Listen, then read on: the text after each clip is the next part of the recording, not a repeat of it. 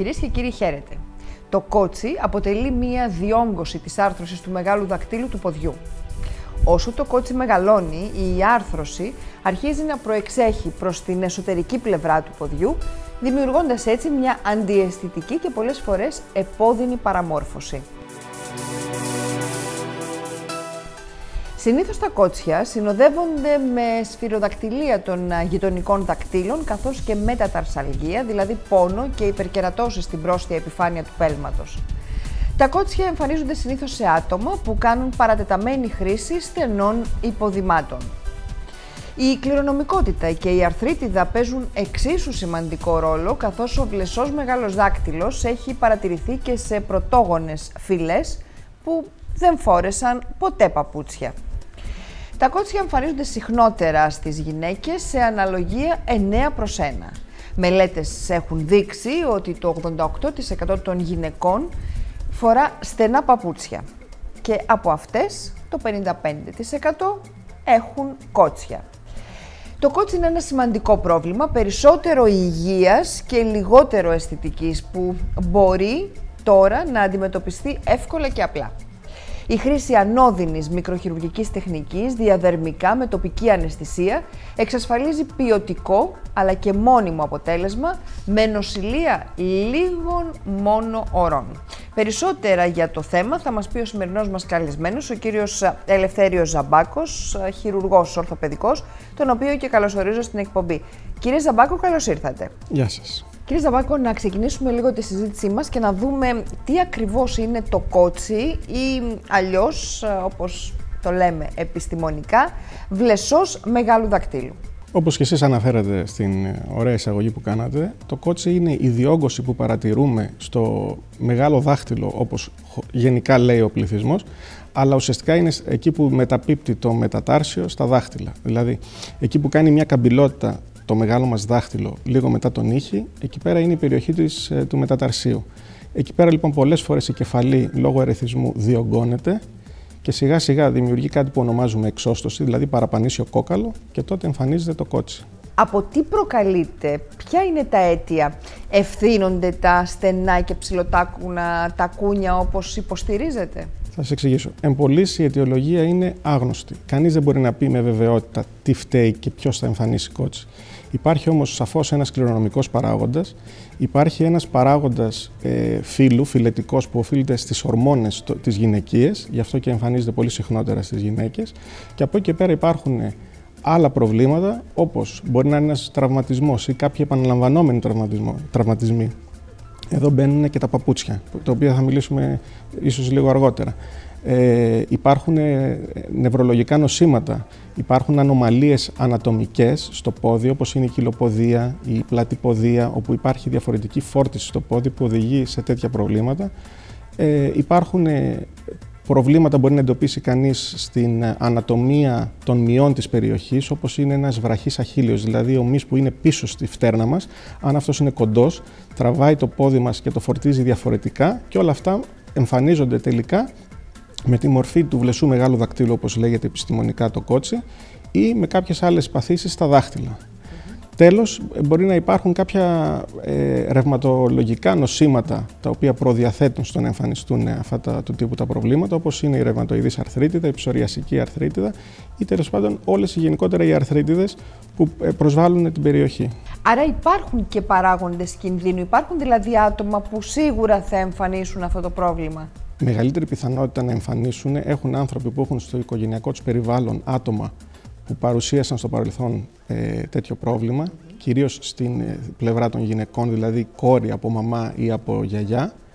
Όμως, ε, σίγουρα κάποια άτομα με κυλοποδία, πλατυποδία, εκεί που έχουμε δηλαδή ανώμαλες, ε, ανώμαλη φόρτιση στο πόδι, έχουν μεγαλύτερες πιθανότητες να εμφανίσουν και τα άτομα με ε, ρευματολογικά νοσήματα που συνήθως παρουσιάζουν τέτοιου είδους παραμορφώσεις. Όσον αφορά στην παραμόρφωση τώρα που αναφερθήκατε, υπάρχουν διάφορα στάδια; Βεβαίως. Κανείς δεν ξεκινάει να πάει στη χειρότερη μορφή. Η παραμόρφωση αυτή ξεκινάει με την μορφή, τα, το πόδι μας, παρόλο που εμείς βλέπουμε τα δάχτυλα στην περιοχή του κουντεπιέ όπως λέμε, ε, έχει ένα άλλο κόκαλο το οποίο ονομάζεται μετατάρσιο. Η γωνία ανάμεσα στο πρώτο και στο δεύτερο μετατάρσιο, δηλαδή τα κόκαλα που ενώνουν τον αστράγαλο με τα δάχτυλα, η γωνία αυτή συνήθως θεωρούμε ότι είναι φυσιολογική όταν είναι μέχρι 10 μοίρες. Όταν λοιπόν αυτή η γωνία αρχίζει και αυξάνεται, τότε αρχίζει και κάποιος ε, προσδιορίζει ότι έχει την παραμόρφωση του πλαισίου μεγάλου δακτύλου. Αυτό ε, μέχρι 15 μοίρες θεωρούμε ότι είναι ένα ήπιο πρόβλημα. Από 15 μοίρες και μετά ε, είναι ένα πιο βαρύ, μέτριο και μετά πάμε με πάνω από 20 μοίρες σε μια βαριά παραμόρφωση. Η αρχική παραμόρφωση λοιπόν αφορά μόνο την, ε, την ε, παρέκκληση, να το πούμε έτσι, του μεταταρσίου από το δεύτερο. Όμως όσο προχωράει η πάθηση, τότε και το μεγάλο δάχτυλο αρχίζει και συγκλίνει προς τα μικρά δάχτυλα του ποδιού και πολλές φορές καταλήγει είτε να τα εφηπεύει είτε να πηγαίνει κάτω από αυτά. Παράλληλα, εμφανίζονται και παραμορφώσεις στα υπόλοιπα δάχτυλα που οφείλεται στη γενικότερη παθολογία του ποδιού. Και κάθε στάδιο έχει και την ανάλογη βαρύτητα, σωστά; Έχει και την ανάλογη βαρύτητα και την ανάλογη αντιμετώπιση. Δεν μπορούμε να αντιμετωπίσουμε τον ίδιο τρόπο όλες τις παραμορφώσεις. Υπάρχουν κάποια εμφανή συμπτώματα τα οποία θα μας οδηγήσουν στο γιατρό για διάγνωση; Αυτό που συνήθως παρα, παρατηρούνται στις ε, γυναίκες, γιατί κυρίως αυτές έχουν το πρόβλημα, είναι μια διόγκωση στην έσω πλευρά του μεγάλου δακτύλου, στη βάση του. Αυτή η διόγκωση πολλές φορές γίνεται επώδυνη, γίνεται εξέριθρη, δηλαδή παρουσιάζει στοιχεία φλεγμονής και μετά από λίγο καιρό μπορεί να δημιουργηθεί και σκληρία στην περιοχή που είναι το κόκαλο, η εξώστοση που λέγαμε που αρχίζει να σχηματίζεται. Όλα αυτά βέβαια επιβαρύνονται από διάφορους εξωγενείς παράγοντες, ο πιο βασικός από τους οποίους είναι τα, τα παπούτσια και κυρίως τα ψηλά, ψηλοτάκουνα παπούτσια που έχουν στενό ε, χώρο στα, στα δάχτυλα, όπου ουσιαστικά δημιουργούν ένα καλούπι. Οθούν τα δάχτυλά μας σε αυτή τη θέση και φορτίζουν ε, έκεντρα τα δάχτυλα. Αντί λοιπόν να μοιράζουν το βάρος σε όλο μας το πέλμα, έτσι όπως είναι φτιαγμένος ο ανθρώπινος οργανισμός για να περπατάει, εμείς ουσιαστικά τον αναγκάζουμε να πατήσει μόνο μπροστά και η μακροχρόνια χρήση παπουτσιών αυτού του τύπου μπορεί να επιδεινώσει ένα πρόβλημα. Δεν το δημιουργεί μεν, αλλά το επιδεινώνει. Κύριε Ζαμπάκο, βλέπουμε μια αναλογία 9 προς 1 όσον αφορά στις γυναίκες και στους άνδρες. Σίγουρα, συν το γεγονός ότι υπάρχουν οι ορμόνες που παίζουν ρόλο και γι' αυτό το λόγο ε, ε, οι γυναίκες έχουν το, τη μερίδα του λέοντος σε αυτά τα προβλήματα. Πάμε να δούμε τώρα σε ένα βίντεο πώς γίνεται η διάγνωση απεικονιστικά της βλάβης που προκαλείται στα πόδια από τα ψηλοτάκουνα τα παπούτσια. Για πολλές γυναίκες, τα ψηλά τακούνια είναι τρόπος ζωής. Αν και φαίνονται ωραία, προκαλούν πόνο. Τώρα, ερευνητές δημιούργησαν τρισδιάστατο σκάνερ που δείχνει ακριβώς γιατί τα ψηλά τακούνια προκαλούν τόσο πόνο και τη ζημιά που μπορούν να προκαλέσουν στα πόδια και τους αστραγάλους. Ερευνητική ομάδα του Royal National Orthopedic Hospital χρησιμοποιεί νέο τρισδιάστατο σκάνερ που όπως σημειώνει προτίθεται να μεταμορφώσει τον τρόπο που διαγιγνώσκονται προβλήματα στα πόδια και τους αστραγάλους. Χρησιμοποιώντας παρόμοια επίπεδα ακτινοβολίας με τα συμβατικά απεικονιστικά μηχανήματα, η συσκευή δρά σκανάροντας τα πόδια ενός ασθενούς σε λιγότερο από 60 δευτερόλεπτα, ενώ αυτός στέκεται σε θέση άρσης βαρών φορώντας ή όχι παπούτσια. Ο Ντίσχαν Σέιν εξηγεί ότι παραδοσιακά χρησιμοποιούνται δυσδιάστατες ακτινογραφίες για τη διάγνωση προβλημάτων στα πόδια, αλλά οι πληροφορίες είναι περιορισμένες. Οι ερευνητές δήλωσαν ότι οι γυναίκες που φορούν τακτικά ψηλά τακούνια υποφέρουν από προβλήματα στα πόδια και τους αστραγάλους, επειδή το βάρος μεταφέρεται στο μπροστινό μέρος του ποδιού που ασκεί πίεση στα σισαμοειδή που είναι μικρά οστά κάτω από το μεγάλο δάχτυλο. Προσθέτουν ότι τα ψηλά τακούνια όταν φοριούνται τακτικά μπορούν επίσης να συνθλίψουν τα δάκτυλα πιέζοντάς τα σε μη φυσιολογικό σχήμα. Αυτό μπορεί να προκαλέσει σοβαρό πόνο και μακροπρόθεσμη βλάβη. Οι ειδικοί του University College London στη Βρετανία ανακάλυψαν ότι το 57% των γυναικών ασθενών τους παρουσίαζε σοβαρό πόνο στο πόδι λόγω χρήσης μη ελαπαυτικών παπουτσιών σε τακτική βάση, σύμφωνα με τους ερευνητές. Έρευνα του 2009 από το Institute of Aging Research of Hebrew Senior Life ανακάλυψε ότι το 64% των γυναικών που ανέφεραν πόνο στα πόδια φορούσαν τακτικά ψηλά τακούνια. Ο Άντι Γκόλμπεργκ του RNOH δήλωσε ότι περισσότερες από μία στις πέντε επισκέψεις στο γιατρό συνδέονται με μυοσκελετικά προβλήματα και πολλές φορές αφορούν προβλήματα που σχετίζονται με το πόδι και τον αστράγαλο. Πρόσθεσε ότι υπάρχει γνωστή σχέση μεταξύ των ψηλών τακουνιών και του πόνου στα πόδια, αλλά για πρώτη φορά μπόρεσαν οι ειδικοί να δουν την επίδραση των παπουτσιών σε πραγματικό χρόνο. Με μέτρο τα ψηλά τακούνια είναι εντάξει, Προβλήματα μπορούν να εμφανιστούν όταν φοριούνται καθημερινά. Οι ερευνητές δήλωσαν ότι τον πρώτο μήνα που το απεικονιστικό μηχάνημα χρησιμοποιήθηκε στο νοσοκομείο εξέτασε περισσότερους από 80 ασθενείς και εντόπισε με ακρίβεια ποικιλία παθήσεων στο πόδι και τον αστράγαλο, όπως κάλους, μετατοπίσεις, κατάγματα και αρθρίτιδα. Το δικό σας σχόλιο, γιατρέ. Ουσιαστικά αυτό που βλέπουμε ότι επιβεβαιώνει αυτή η έρευνα είναι ότι τα ψηλά παπούτσια με στενό ε, μπροστινό ε, πέλμα οδηγούν στην επιβάρυνση του ποδιού. Αυτό μπορεί πλέον να καταγραφεί πλέον και με το σκάνερ που παρουσιάζει η έρευνα, αλλά είναι κάτι το οποίο ούτως ή άλλως γνωρίζαμε, απλώς δεν μπορούσε κανείς να το αποτυπώσει επιστημονικά. Βλέπουμε όμως ότι πλέον υπάρχει μια επίσημη καταγραφή και καλό θα είναι οι γυναίκες, δεν λέμε κανείς να μην φοράει ψηλοτάκουνο, απλώς να μην γίνονται υπερβολές.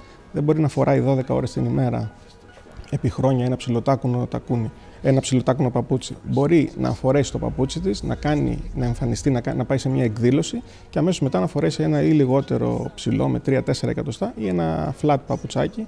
Αν και η καλύτερη επιλογή συνήθως είναι ένα τακούνι της τάξης των 3-4 εκατοστών.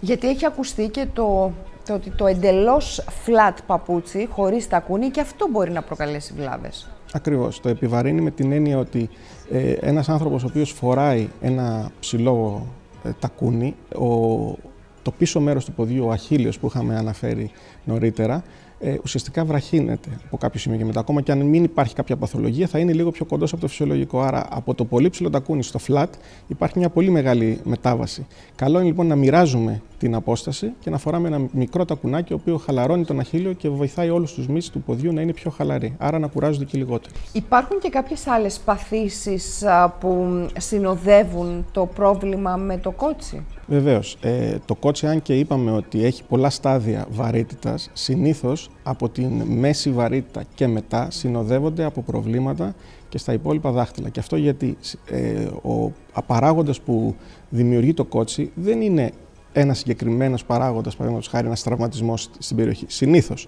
Συνήθως ε, στις περισσότερες περιπτώσεις υπάρχουν κάποια εμβιομηχανικά στοιχεία που οδηγούν σε αυτή την παραμόρφωση. Έτσι το κότσι, αφού δημιουργηθεί, σιγά σιγά στις περισσότερες περιπτώσεις συνοδεύεται ή ακολουθείται μετά από κάποια χρόνια από προβλήματα και στο υπόλοιπο πέλμα. Και όταν λέμε το υπόλοιπο πέλμα, κυρίως την πρόσθεια, ε, το πρόσθετο τμήμα του ποδιού, που είναι τα μετατάρσια. Έτσι έχουμε μεταταρσαλγίες, έχουμε παραμορφώσει στα δάχτυλα με μακράν τη συνηθέστερη να είναι η σφυροδακτηλία, όπου έχουμε κάμψη στην πρώτη φάλαγγα, στην πρώτη άρθρωση, να το πούμε έτσι, δακτύλου και έκταση στην ε, δεύτερη. Αυτό οδηγεί το δάχτυλό μας να τρίβεται στην πάνω πλευρά του παπουτσιού και εκεί δημιουργείται το μεγαλύτερο πρόβλημα. Εμφανίζονται κάποιοι κάλλοι στην πάνω επιφάνεια των δακτύλων, οι οποίοι σε πολλές περιπτώσεις δυσκολεύουν τόσο πολύ τους ασθενείς στην καθημερινότητά τους που δεν μπορούν να φορέσουν ούτε παπούτσι ή επιλέγουν να φοράνε ανοιχτά παπούτσια. Ε, υπάρχουν παραμορφώσεις ε, στα υπόλοιπα δάχτυλα, όπως και στο πέμπτο ε, δάχτυλο του ποδιού, όπου έχουμε ουσιαστικά το αντίστροφο του βλεσού μεγάλου δακτύλου. Μιλάμε για το κότσι του ράφτη, ε, και το οποίο αντιμετωπίζεται με αντίστοιχο τρόπο με το κότσι στο πρώτο δάχτυλο. Και τέλος έχουμε παγιδεύσεις νεύρων, όπως είναι το νεύρωμα Μόρτον, όπου λόγω της ανατομικής ανομαλίας που παρουσιάζεται στην περιοχή και τις ε, συμπιέσεις στα νεύρα που περνάνε για να κατέβουν στα δάχτυλα, κάποιο νευράκι τραυματίζεται και αυτό οδηγεί σε ένα πολύ επώδυνο πρόβλημα που αισθανόμαστε κάψιμο στα δάχτυλά μας όταν φοράμε κλειστό παπούτσι. Υπάρχουν λοιπόν δύο δαχτυλάκια στο πόδι τα οποία πονάνε έντονα σε μερικές περιπτώσεις που φοράμε ένα στενό κλειστό παπούτσι και μας αναγκάζει να βγάλουμε το παπούτσι για να αεριστεί το πόδι, όπως λέμε. Εκεί ουσιαστικά αυτό που θέλουμε να κάνουμε είναι να αιματώσουμε καλύτερα τον νεύρο. Αυτά όλα αποτελούν προβλήματα που συνοδεύουν το κότσι ή και μπορεί να υπάρχουν και μόνα τους σε εξαιρετικές περιπτώσεις και μπορούν όλα αυτά να αντιμετωπιστούν με ή συντηρητικούς τρόπους ή και με χειρουργικό τρόπο. Άρα λοιπόν πάμε να δούμε τώρα πώς μπορούν αυτά όλα να αντιμετωπιστούν. Μόνο επεμβατικά, χειρουργικά, υπάρχει και συντηρητική αντιμετώπιση; Ναι, το πρώτο πράγμα που προσπαθούμε πάντα να συστήσουμε σε έναν ασθενή, αναλόγως βέβαια και με τη βαρύτητα στην οποία θα εμφανίσει το πρόβλημα και θα επιλέξει να έρθει στο γιατρό. Αν είναι σε αρχικό στάδιο, πάντα συνιστούμε να γίνει μια προσπάθεια συντηρητικής αντιμετώπισης. Η συντηρητική αντιμετώπιση σημαίνει ότι θα επιλέξουμε ένα καλύτερο τύπο παπουτσιών, ενδεχομένως κάποια ορθωτικά βοηθήματα, δηλαδή κάποια πέλματα, κάποια ε, ενθέματα σιλικόνης τα οποία προστατεύουν τις περιοχές που έχουν το μεγαλύτερο πρόβλημα. Αν δούμε ότι αυτά τα πράγματα δεν έχουν αποτέλεσμα, τότε μπορεί κάποιος να συστήσει ακόμα και να ε, επιλέξει κάποια παπούτσια ειδικά πλέον με μαλακό δέρμα ή να μην συμπιέζουν τόσο πολύ την περιοχή ή να συστήσει κάποια ε, ναρθικάκια ε, ή και κάλτσα.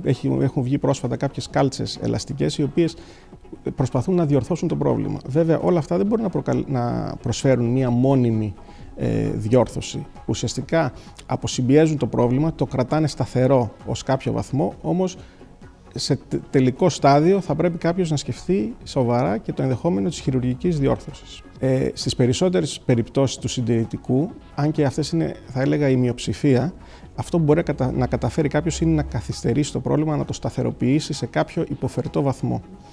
Όμως, ε, αυτό που γινόταν μέχρι τώρα, να το πούμε έτσι, ήταν επειδή οι ασθενείς φοβόντουσαν να πάνε στο γιατρό. Γιατί είτε υπήρχε μια φήμη ότι θα ταλαιπωρηθούν, ή ότι θα πονέσουν, ή ότι δεν θα διορθωθεί το πρόβλημά τους, αφήνανε το πρόβλημα και από ένα ήπιο, ε, ήπιας βαρύτητας ε, πρόβλημα καταλήγαν να έχουν ένα πολύ βαρύ πρόβλημα, το οποίο σαφώς και έχει και πιο δύσκολη αντιμετώπιση και πιο μεγάλη αποκατάσταση. Δεν έχει να κερδίσει κανείς τίποτα περιμένοντας. Από τη στιγμή που θα αντιμετωπίσει το πρόβλημα, θα το ε, εντοπίσει, θα μιλήσει με τον γιατρό και θα δει ότι υπάρχει όντως παραμόρφωση με εξώστοση ή τέλος πάντων ε, ασυμμετρία δυνάμεων στην περιοχή, αυτό μαθηματικά θα οδηγήσει σε μεγαλύτερη παραμόρφωση. Καλό είναι να το διορθώσει σε αρχικό στάδιο παρά να περιμένει να φτάσει μια πολύ προχωρημένη μορφή που θα χρειαστεί και μια πολύ μεγαλύτερη επέμβαση τότε. Για τι ηλικίες μιλάμε, κύριε Ζαμπάκο; Το κότσι ε, μπορεί να εμφανιστεί σε οποιαδήποτε ηλικία. Υπάρχει από συγγενές κότσι που εμφανίζεται σε ε, συγγενές μεγάλος, βλεσός μεγάλος δάχτυλος που υπάρχει σε παιδάκια.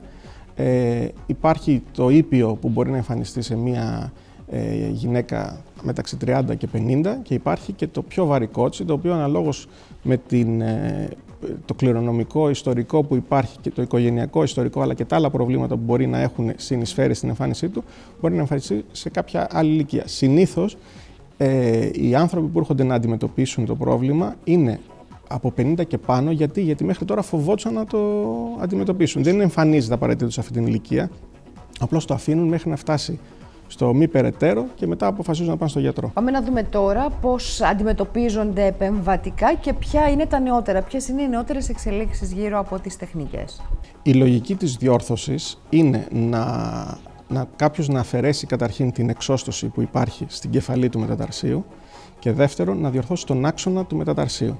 Αυτό μπορεί να γίνει είτε με κάποια οστεοτομία όπως λέμε περιφερικά, δηλαδή χαμηλά στο μετατάρσιο όπου μετατοπίζει μόνο την κεφαλή, είτε ψηλά όπου μετατοπίζει όλο το μετατάρσιο προς μία νέα ευθεία, να το πούμε έτσι.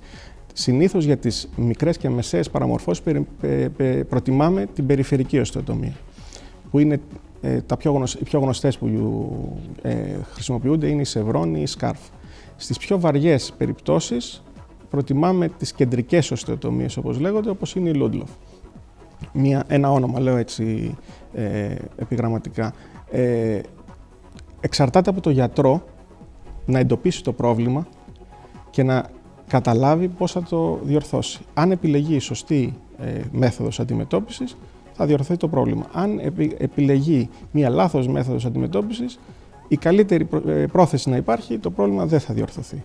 Αυτό που ε, είναι ιδιαίτερο και έχει αναπτυχθεί τα τελευταία χρόνια είναι ο τρόπος με τον οποίο μπορεί κάποιος να κάνει αυτές τις παρεμβάσεις. Αντί λοιπόν να κάνει κάτι ε, όπως παραδοσιακά λέμε μια ανοιχτή τομή και να κάνει αυτές τις οστοτομίες μέσα από την ανοιχτή τομή, τα τελευταία χρόνια έχει εξελιχθεί η διαδερμική χειρουργική ή η ελάχιστα επεμβατική χειρουργική. Η λογική εδώ πέρα είναι η εξής: Ότι κάνοντας μία μικρή τρυπούλα στην περιοχή που θέλουμε να κάνουμε την οστεοτομία και χρησιμοποιώντας κάποια ειδικά εργαλεία για να μπορέσουμε να δουλέψουμε, μπορούμε να κάνουμε ακριβώς το ίδιο χειρουργείο και να επιτύχουμε τα ίδια αποτελέσματα, χωρίς όμως να κάνουμε τόσο μεγάλη κάκωση στους ιστούς. Το ελάχιστο επεμβατικό χειρουργείο, η, η, ο ορισμός του, να το πούμε έτσι, δεν είναι ότι κάνουμε μία μικρή τομή. Είναι ότι κάνουμε μικρή κάκωση στους ιστούς. Εδώ πέρα έχουμε και τα δύο πλεονεκτήματα. Κάνουμε μία μικρή τομή και μετά κάνουμε μικρή κάκωση στους ιστούς, με αποτέλεσμα, κάνοντας το χειρουργείο, στο τέλος ο ασθενής να έχει ελάχιστα μετεγχειρητικό πόνο, γιατί έχουμε μικρή κάκωση στην περιοχή, έχει γρηγορότερη αποκατάσταση, γιατί πολύ γρήγορα ε, τα θρεπτικά στοιχεία του, που ο οργανισμός θέλει να στείλει στην περιοχή συλλέγονται και αρχίζουν να δρούν και ε, η, η όλη διαδικασία είναι σχεδόν ανώδυνη και πολύ ταχεία. Δηλαδή έτσι να μας πείτε λίγο πόσο διαρκεί η επέμβαση, αν χρειάζεται νοσηλεία, πόσο πρέπει δηλαδή να μείνει ο ασθενής μέσα, ε, πότε θα επιστρέψει στις δραστηριότητές του; Καταρχήν το χειρουργείο ε, είναι ένα χειρουργείο το οποίο δεν απαιτεί παραμονή στο νοσοκομείο. Ο ασθενής μπορεί να έρθει το πρωί, να κάνει το χειρουργείο του και μετά από μισή μία ώρα να φύγει για το σπίτι του περπατώντας. Ε, η επέμβαση μπορεί να γίνει με τοπική αναισθησία γύρω από τον αστράγαλο. Τι σημαίνει αυτό, ότι υπάρχουν πέντε νεύρα αισθητικά που καταλήγουν στο πόδι. Αν κάποιος αναισθητοποιήσει αυτά τα νεύρα, δεν πονάει καθόλου το πόδι. Πρακτικά μπορεί να του κάνει κανείς ό,τι θέλει, αλλά έχει όλη τη δύναμη που θα χρειαζόταν για να περπατήσει. Έτσι, μπλοκάροντας λοιπόν αυτά τα νεύρα, μπορούμε να πραγματοποιήσουμε το χειρουργείο και τελειώνοντας ο ασθενής να έχει τη δύναμη για να πατήσει και να πάει σπίτι του. Η διαδικασία του χειρουργείου μαζί με την άρκωση διαρκεί γύρω στα 40 λεπτά συνήθως. σω λίγο λιγότερο, εξαρτάται από το πρόβλημα και αν αντιμετωπίζεις και τα υπόλοιπα προβλήματα του ποδιού, δηλαδή τη σφυροδακτηλία ή τη μεταταρσαλγία. Συνήθως όμως διαρκεί γύρω στα 40 λεπτά. Τελειώνοντας το χειρουργείο, γίνεται μία επίδεση, αρκετά φουσκωτή θα λέγαμε, για να μπορέσει να εξυπηρετήσει το πόδι, γιατί θα πρεστεί το πόδι μας μετά το χειρουργείο. Και ο ασθενής φορώντας ένα ειδικό μετεγχειρητικό παπουτσάκι, μπορεί να φύγει και να πάει σπίτι, όπως λέω. Ε, ο, η διαδικασία είναι σχεδόν ανώδυνη. Ο μόνος λόγος για τον, μπορεί, για τον οποίο μπορεί ο ασθενής να αισθανθεί πόνο είναι αν το πόδι του πριστεί μέσα στις γάζες αυτές, οι οποίες έχουν μία ελαστικότητα μεν, αλλά δεν μπορούν να, να μεγαλώσουν ανεξέλεγκτα. Αν λοιπόν συμβεί κάτι τέτοιο, που είναι μια σπάνια περίπτωση, αυτό συμβαίνει συνήθως στο πρώτο, δεύτερο 24ωρο, όπου με μια, μια απλή αλλαγή, με το που θα αλλάξουμε τις γάζες, σταματάει ο πόνος. Η φόρτιση όμως του ποδιού είναι από την πρώτη στιγμή έτοιμη, δηλαδή ε, ε, από την πρώτη στιγμή ικανή. Δηλαδή ο ασθενής μπορεί φεύγοντας από το νοσοκομείο να φύγει περπατώντας χωρίς να χρησιμοποιήσει πι ή πατερίτσα, ε, μπορεί να πάει σπίτι του να αυτοεξυπηρετηθεί χωρίς όμως να κάνει υπερβολές. Δηλαδή θα πάει σπίτι, θα μπορεί να πάει από το ένα δωμάτιο στο άλλο, θα μπορεί να πάει να πάρει ένα ποτήρι νερό, να φτιάξει ενδεχομένως τον καφέ του. Δεν θα τακτοποιήσει όμως όλο το σπίτι για την οικογένεια. Δεν θα σιδερώσει αυτά τα πράγματα θα πρέπει να κατανοήσει ότι για κάποιο χρονικό διάστημα θα πρέπει να τα αποφύγει. Σταδιακά όμως, εβδομάδα με τη βδομάδα, η δραστηριότητά του και η κινητοποίησή του θα αυξάνεται μέχρι που θα φτάσει περίπου στις τρεις εβδομάδες, όπου έχει σχεδόν πλήρη κινητοποίηση. Πόσο σημαντική είναι η επιλογή του σωστού, του εξειδικευμένου γιατρού, του εξειδικευμένου χειρουργού, κύριε Ζαμπάκο, στο, ώστε να επιτύχει η συγκεκριμένη επέμβαση; Πολύ σωστά κάνετε αυτή την ερώτηση. Υπάρχει ε, μεγάλη, έχει πολύ μεγάλη σημασία το να διαλέξουμε τον γιατρό που θα μας κάνει την επέμβαση. Ε, όπως ανέφερα νωρίτερα, υπάρχουν πολλές επεμβάσεις για το κότσι. Όταν λέμε ε, επεμβάσεις, είναι διαφορετικές τεχνικές, διαφορετικός τρόπος να κόψεις τα κόκαλα. Ο, ο έμπειρος γιατρός γνωρίζει με το που βλέπει την ακτινορροφία του ασθενούς και βλέπει και το πρόβλημά του κλινικά, τι θα του προσφέρει τα, τα περισσότερα πλεονεκτήματα, τι θα τον βοηθήσει περισσότερο. Ε, για άλλους ασθενείς χρειάζεται μια περιφερειακή οστεοτομία, για άλλους ασθενείς χρειάζεται μια πιο κεντρική οστεοτομία.